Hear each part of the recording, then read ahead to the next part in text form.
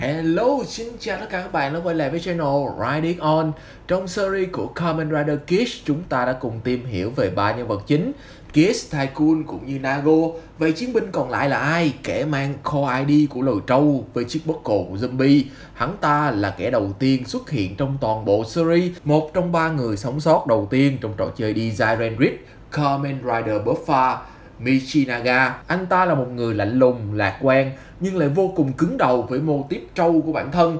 Anh ta thường có những hành động hấp tấp và không suy nghĩ quá nhiều khi hành động. Sự dũng cảm của anh thể hiện qua phong cách chiến đấu cũng như biểu tượng Core ID lồi trâu. Anh ấy luôn lao thẳng vào trận chiến, sử dụng sức mạnh nghiền nát tất cả như một con trâu đang nổi điên. Cho dù là sử dụng vũ khí cận chiến hay tầm xa, phong cách chiến đấu của Michinaga vẫn không hề thay đổi vô cùng mạnh mẽ và quyết liệt. Sự liều lĩnh của Michinaga cũng tương thích hoàn toàn với chiếc bốc cổ zombie, thứ mà anh ta sẽ gắn liền với sự sống và cái chết của bản thân. Mặc dù với vẻ bề ngoài lạnh lùng cũng như tính cách có phần cộc cằn, nhưng ẩn sâu bên trong đó lại là một con người vô cùng ấm áp. Anh có một ký ức vô cùng đau khổ liên quan tới người bạn thân của mình.